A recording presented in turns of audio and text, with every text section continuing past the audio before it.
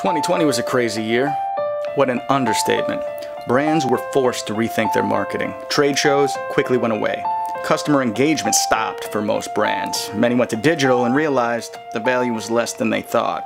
But the smart brands, well, they took a more proactive approach and brought the trade show directly to their customers, and boy, did it work. Well, initially, I didn't know what to expect going in, uh, but it's actually really nicely laid out. There's a lot of different products you can look at. The Hussmann Shop the Future Roadshow traveled the country, held 36 events, reached 68 retail and channel partners, traveled over 9,000 miles through 41 states, and garnered over 1.2 million visual impressions, safely engaging Hussmann customers and staff with an innovative and exciting trade show on wheels featuring over 10 Hussmann products. Put a lot of work in this to make this a safe environment for them to come and help us understand what we can do to help help their businesses be better.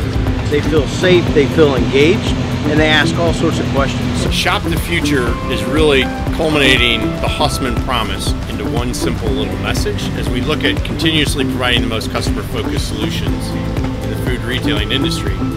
It's all about how the future evolves, and, and that's what we're about here at Hussmann is really bringing that Hussmann promise to the forefront for our customers and for the market. Some of the 453 customers merely had to walk out of their offices to their parking lot, while others simply jumped into their cars and drove to their offices to see what their partner Hussmann was showcasing in their mobile trade show trailer. What an amazing differentiator and a great way for Hussmann to show leadership in the industry. Customers were engaged and they were focused. How often do you get 45 to 90 minutes with your key customers and not have the clutter of your competitors' display a few feet away? This is a crazy time in the world right now, and customers want solutions to their problems.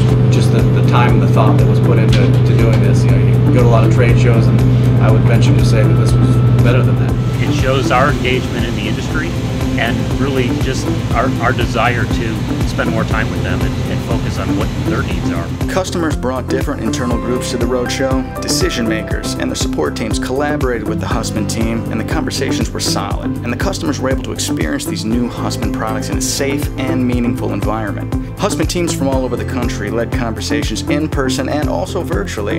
And after the customers had learned about each product, they discussed next steps and follow up. Even in the days of COVID, meaningful business is happening. Customers are happy to meet physically with quality vendor partners who recognize their needs, focus on helping to grow their businesses, and making the world a better place.